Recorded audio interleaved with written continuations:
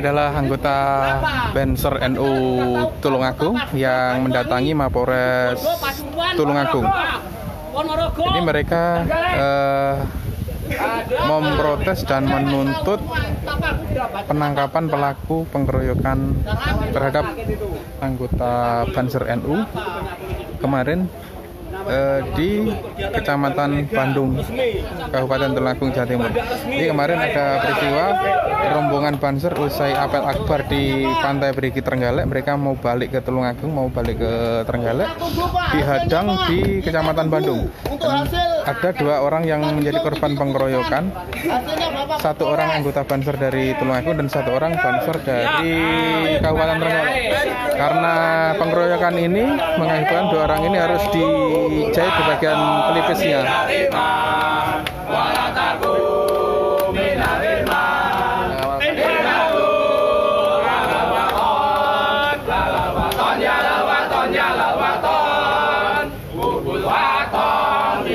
Saka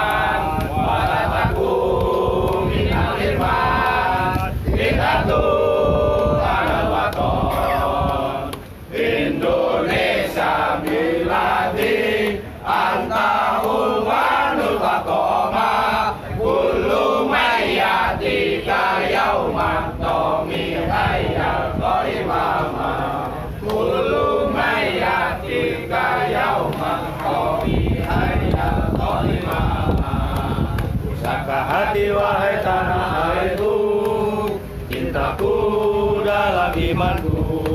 Jangan halangkan Jadi sejauh ini yang diduga pelaku penghadangan dan pengeroyokan anggota Banser ini adalah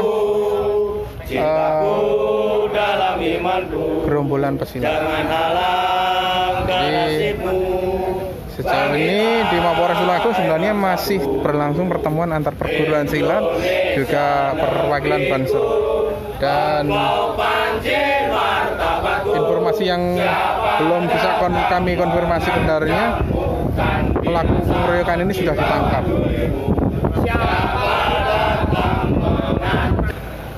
Eh, ini semacam juga tekanan buat polisi karena mereka anggota Banser ini akan berjanji akan mengerahkan massa dari wilayah lain jika para pelaku pengeroyokan ini tidak segera ditangkap.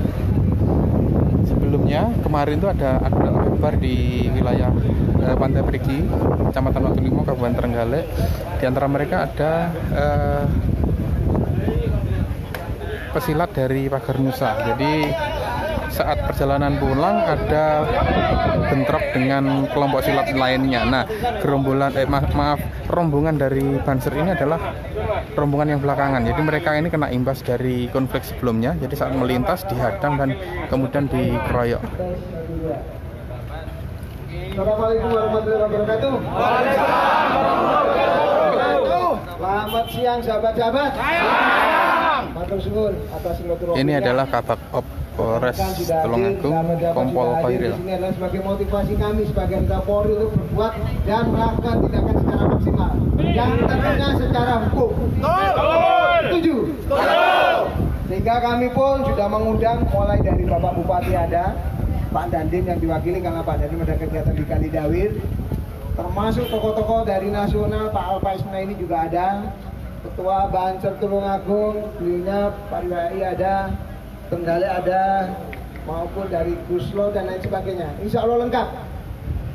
Kami atas nama pimpinan Polres Tulungagung, kami sudah melakukan tindakan tadi pagi sampai mulai kemarin juga ketemu beliau-beliaunya. Saat ini kami sudah mengamankan empat orang yang tentunya masih dalam proses. Mudah-mudahan dengan ada di belakang. Masih dimintai keterangan. Memenuhi unsur memenuhi 184 KUHP akan kami tindak lanjuti. Karena bagaimanapun juga kita melakukan sesuai dengan aturan yang ada, yaitu praduga tidak bersalah. Ada unsur, ada alat bukti, terpenuhi semuanya. Saya tidak ragu. Pegang, nama saya Koirin. Tidak asing, rekan-rekan tahu saya semuanya. Tahu pak? Tahu kan? Tahu kan? Pegang kata-kata saya. Mana kalau terbukti unsur-unsur ada 184, saya nggak ragu. Langsung saya proses. Ditahan, langsung ditahan. dan tentunya rekan-rekan harus juga paham ya harus juga paham dalam melakukan tindakan kepolisian sesuai dengan hukum yang ada dan tadi kesimpulannya mungkin nanti akan disampaikan oleh sahabat saya Bapak Rufai, Dr. Rufai Rifai dan kemudian Pak Alfa masih ada di dalam dan mari kita jaga bersama keamanan, kenyamanan, juga tanggung jawab kita semuanya. Yang selama ini sudah baik, kerjasama antara Polri, TNI, Banser, Ansor sudah baik. Mari kita pertahankan. Dan intinya NKRI harga Nah, setelah ini Pak Rifai akan menyampaikan hasil dari rakor tadi. Yang mudah-mudahan mari kita sikapi dengan positif. Insya Allah sikapi dengan positif, ibadah dengan baik akan membawa berkah barokah buat kita semua. Monggo, Bapak Rifai. Ini Komandan Banser Tulungagung. Bapak Bupati, Bapak Kapolres, Bapak Kapolres, sahabat-sahabat semuanya yang hadir pada siang hari ini. Ada sahabat kita, Usloh dari Trenggalek, Ketua PJNU Trenggalek, Zaki, Ketua Ansor Trenggalek, serta jajaran beserta rekan-rekannya, sahabat-sahabat perwakilan dari PAC se-Kabupaten Tulaku yang hadir pada siang hari ini. Terima kasih atas kehadirannya. Sama seperti yang disampaikan oleh Bapak Khairil selaku Kabupaten tadi, sejak pagi kita sudah berkumpul di sini. Saya, sahabat Wabi, sahabat Moklas, ada Kasat Kornas, ada Pak Bupati, ada Pak Kapolres dan dari perwakilan Dandim sama seluruh Puspika, kemudian kepolisian, kemudian perguruan. Tadi disampaikan oleh Bapak Kapolres selaku yang punya hak untuk menyelesaikan ketika terjadi konflik sosial. Disampaikan bahwasanya sejak tadi malam setelah kita bertemu dengan beliaunya di Polsek Bandung, kemudian langsung ditindaklanjuti dan sekarang yang sedang proses diintegrasi itu ada empat orang ada empat orang kemudian tadi juga disampaikan dari sahabat Trenggalek sama tidak hanya Tulungagung Trenggalek, Kediri, Blitar, Kabupaten Kota, Nganjuk, Ponorogo, Malang itu juga menuntut update terus kepada saya kepada Gus Zaki karena Gus Zaki karena Gus Loh sebagai panitia dan kejadian di Tulungagung. Tadi juga sudah saya sampaikan kepada beliau-beliaunya kita mohon kita mohon perkara ini diselesaikan secara hukum yang seadil-adilnya. Kita adalah organisasi, kita tidak punya kewenangan untuk menindak langsung dan menyelesaikan proses ini. Tapi kita percaya kepada Polri, kepada Polres Tulungagung, kepada Bapak Kapolres dalam hal ini untuk menyelesaikan perkara ini seadil-adilnya dan secepat-cepatnya. Tadi juga saya sampaikan kepada beliau-beliaunya di forum semalam hari ini kita masih mampu untuk menahan sahabat-sahabat yang dari Tulungagung. Tapi kita perlu update informasi kepada sahabat kita yang ada di luar Tulungagung.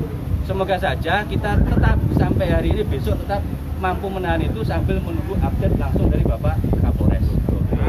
Oleh sebab itu sahabat-sahabat monggo mari kita jaga keamanan, kita jaga keguyupan Tulungagung ini, kita tunjukkan kita adalah organisasi yang terkoordinir dengan baik, dengan rapi. Kita boleh banyak, kita boleh berteriak-teriak, tapi kita tidak boleh lepas dari koordinasi. Siap, siap, siapa? Siapa kita? Pancasila, NKRI, Mas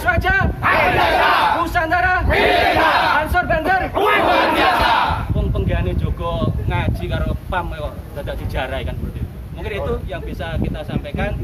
Yang bisa saya sampaikan ada kurang lebihnya mohon maaf. Wassalamualaikum warahmatullahi wabarakatuh. Sebentar Pak, satu Pak. Pak, ini harus saman kawal terus. Masalahnya kejadian kalau sudah ditangkap polisi kemudian dibiarkan. Oh, itu Pak biasanya Diamkan, begitu. ya. Tolong Bapak juga mengawal terus. Katanya dengan tangkapan-tangkapan itu Pak. Kita belajar dari pengalaman, Pak. Jadi pengalaman. yang kemarin. Nah, itu Itu udah cara ada jawane targetnya. bar nung pawok selesai. Jangan seperti itu Pak. Gini, gini. Enggak mau. Ini Nggak tadi kita sudah komitmen ya dengan teman-teman sahabat-sahabat polisi bahwasanya kalau masalah ini kemudian mengambang gitu Pak ya maka saya karena pimpinan di Trenggalek maka banser di Trenggalek ini akan gantian ngepam Pak di Polres Pak. Masuk. kita ngepam di Polres kita. Iya kita ganti aja lah di sini dengan orang-orang kita kalau tidak tidak mau. Maksudnya apa biar ini ada eh, sinergi dulu biar Pak Pak Polisi bekerja. Kita terus kawal. Pak Polisi janji update status kepada kita.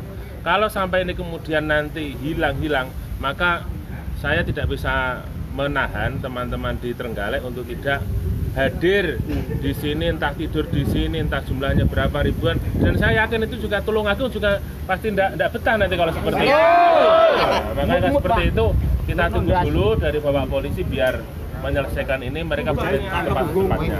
jadi gitu. Jadi ini jangan anu pak masih diinterogasi. Masih. Diinterogasi. jadi jangan dianu dulu jangan diasumsikan macam-macam dulu Kalau pengen ketemu nggak bisa Pak ini. Nan- nanti ra betah pak. Pak Seno padane babi ya dantem. Masane lho. ya pak gini pak. Dewe liwat dalane negara. Gini, gini. Sudah, sudah. Gini gini, tadi sudah saya sampaikan ya. Kalian ya, kalian mencari musuh yang salah. Kita itu Banser Ansor, tidak pernah memberikan masalah dengan kalian. Jadi kalau kalian memusuhi Ansor Banser, kalian mencari musuh yang salah. Jadi jangan khawatir lah, jangan khawatir. Tetap akan diproses. Oke, Siap, kita percayakan kepada polisi dan kita tunggu hasilnya ya. Aduh lama-lama tapi. Nah iya, cepat dokumen. Ini, ini kan anak buah wes bodoh Anak buahku dilebut Pak Emil. Padane babi liwat. Negara kita negara hukum. Oh, polisi lain tak ganti sesuk. Majib kok bocah tak cek gede. Jadi sekali lagi negara kita adalah negara hukum. Yang salah tetap harus dihukum. Sudah, apa yang disampaikan oleh Gus Lipai, Gus Nur, Zaki, semuanya sudah jelas. Mari kita jaga persatuan, kekompakan dan keguyuban yang sudah terjalin baik ini. Dan insya Allah berita terupdate nanti kami sampaikan kepada Gus-Gus yang ada di sini. Kami tunggu semuanya ini, ya. Mulai dari Gus Lo, Gus Lipai, ya, klakson ini ya, juga ini orang-orang dalam semuanya ini. Kita perwakilan mohon lihat tersangka anu. masih diminta keterangan. Jadi biar Itu- itu maksimal. belum tersangka, Pak. Belum, belum, belum ya. Masih diminta keterangan biar maksimal dalam rangka Harus pemeriksaan. harus ya. ada yang di sini sana Pak. Saya tidak terima. Wah, ngapain bodoh kena Pak? Jalan umum Pak itu. Kalau bukan jalan umum, tak patah ini mang bengi pisan Pak. Bukan hukum. Kata di malam gregetan pisan.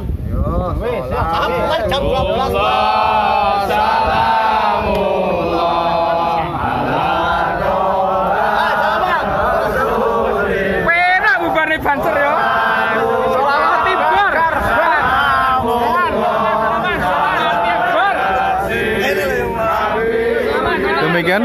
Saya laporkan dari Mapolres Tulungagung.